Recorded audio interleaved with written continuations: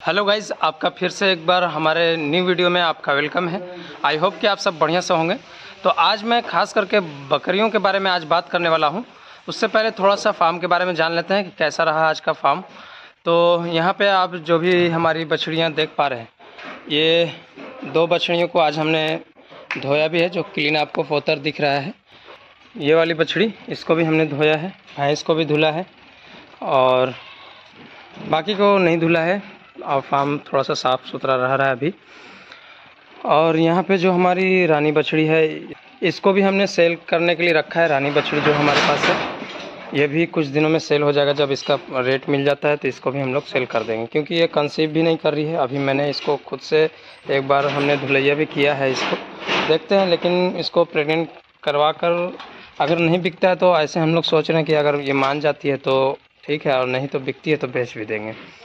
और एक और बछड़ी के बारे में बात कर रहे थे, जो आप लोग पूछ रहे थे कमेंट्स में, उसके बारे में मैं बता दूँ, जो वहाँ पे रहती थी, जो कजली की बच्चा थी बछिया, उसको भी हमने सेल कर दिया, मात्र साढ़े चौबीस हज़ार रुपये में। दाम बढ़िया मिला, इसकी वजह से हमने बेच दिया।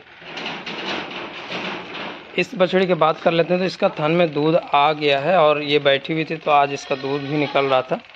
तो थोड़ा सा मुझे ऐसा लग रहा है कि ये दिक्कत कर सकती है, जो थान बाट बनना चाहिए, वो शायद नहीं बन पाएगा। ऐसा मुझे लग रहा है। और बाकी सब कुछ ठीक ठाक है?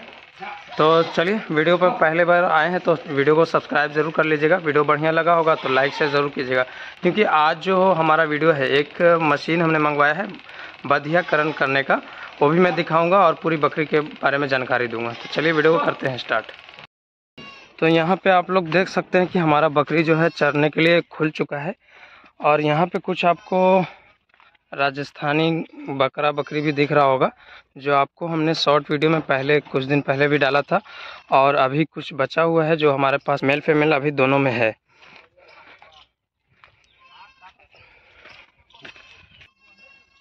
यहाँ पे जो आप पठिया देख पा रहे हैं, ये प्रेग्नेंट हो चुकी है, ये भर गया है ब्रीडर से तो ये आप देख सकते हैं।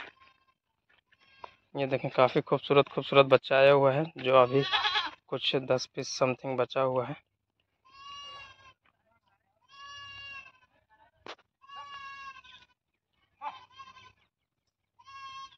तो यहाँ पे हमारा अपना जो ग्रीन लगा हुआ था उसमें आ गई है चरने के लिए। इसका जुताई होने वाला है, इसकी वजह से इधर आ गई है तो कोई दिक्कत नहीं है। और यहाँ पे जो आप देख पा रहे हैं, ये देखें, राजस्थानी गोट। ये ब्रीडर लाइक काफ़ी बढ़िया है, काफ़ी शानदार ये बकरा होगा। यहाँ पे आप, और एक फीमेल है यहाँ पे, ये फीमेल है। और बाकी बकरी जो हमारा क्रॉस ब्रीड का जो बस बच्चा है, जो वहाँ पे आपको देखने को मिल रहा है, वो भी प्रेग्नेंट है और कुछ देहाती ब्लैक बंगाल बकरियाँ हैं, जो कुछ है। बाकी और बिक चुका है और काफ़ी बढ़िया बढ़िया दो प्रेग्नेंट ऐसा बकरी है, जो फ़िलहाल बच्चा देने वाली है। एक कल बच्चा दिया, जो आगे वीडियो में मैं दिखाऊँगा। ये देखें जी। ये काफ़ी बढ़िया बकरी है और इस मंथ बकरियों से जो हमारा इनकम है आउट बिज़नेस के तौर पर रखा गया है कुछ कमाई हो जाता है इससे। हर मंथ में कुछ हल्का फुल्का कमाई हो जाता है जो आउट बिज़नेस के तौर पर रखा हुआ है।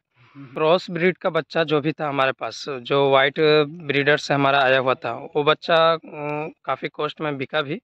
समथिंग मैं आपको बता दूँ तो पाँच छः हज़ार रुपये में बिका है। कुछ दो तीन चार रह गया जो घर के लिए हम लोग पाल रहे हैं खस्सी तैयार करेंगे और एक पठिया वाइट में रह गया है जो काफ़ी दूर में है थोड़ा सा जूम करके मैं आपको दिखाऊँ। ये देखें थोड़ा सा क्लियर आपको नहीं दिखेगा लेकिन वो पठिया रह गया है। तो इस तरह का वाइट ब्रीडर का जो बच्चा आता है उसका डिमांड ज़्यादा है इसलिए ज़्यादा कॉस्ट में बिकता भी है। तो इस तरह करके हम लोग अपना बकरी फार्म मैनेज कर रहे हैं। चराई पे रहता है हमारा अभी जो बरसात चल रहा है तो इसमें जब तक खेत में धान का फ़सल नहीं होता है जब तक हमारा चराई पे रहेगा फिर आ, हम लोग भूसा पे लेंगे चार महीने तक का भूसा पे लेंगे उसके बाद से फिर हमारा आठ महीना जो है समथिंग खुला चलता है। जिससे हम लोग को काफ़ी कॉस्ट कम खर्च में अच्छा मुनाफा दे देता है। तो इस तरह हम लोग बकरी मैनेज करके रख रहे हैं। तो अब हम लोग मशीन के बारे में आपको जानकारी देते हैं कि कौन सा मशीन हमने किस तरह मंगवाया है। चलिए आपको बताते हैं। देखें वाइट ब्रीडर का बच्चा है। ये दोनों क्रॉस ब्रीडर है। आ, बच्चा आया है जो मेल एंड फीमेल है। ये फीमेल है। यहाँ पे आपको क्लियर देखने के लिए मिल रहा है। और ये मेल है। तो इसकी माँ ये है। अब बाप ये। हमने जो मशीन मंगवाया है यहाँ पे ये देख सकते हैं सर्जिकल इंस्ट्रूमेंट्स ये देखें ये पूरा मशीन है इसको इस तरह करके करना है।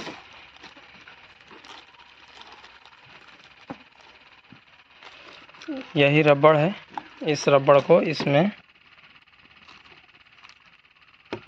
पहना देना है।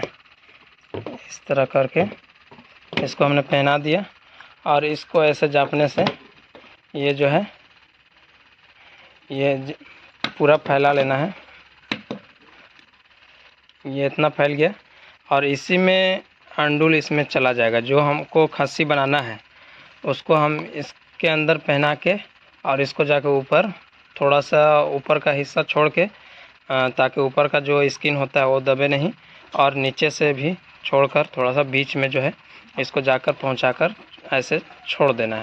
और इस रबड़ को लगभग वन वीक छोड़ देना है, उसके बाद इस रबड़ को कटिंग कर देना है, उसके बाद छोड़ देना है। उसके बाद आपका जो है, अंडुल जो है कट के ऑटोमेटिक गिर जाएगा।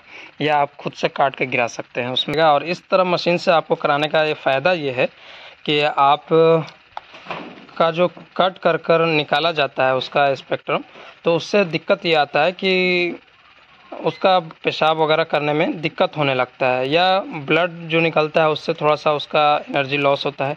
इसकी वजह से ये चीज़, ये मशीन हमने मंगवाया है ताकि किसी तरह का कोई दिक्कत ना हो। इससे थोड़ा सा छः घंटा, सात घंटा थोड़ा सा प्रॉब्लम रहता है जब तक ब्लड जो उसका रोकता है कंट्रोल करके रखता है तो थोड़ा सा दिक्कत महसूस होता है। उसके बाद आपका फिर किसी तरह का कोई दिक्कत होने वाला नहीं है। ये आसान तरीका है, ये कोई भी कर सकता है, बस ये मशीन होना चाहिए। तो आज के लिए इतना ही। मिलता हूँ फिर किसी नेक्स्ट वीडियो में। वीडियो बढ़िया लगा हो तो लाइक ज़रूर कर दें। Thank you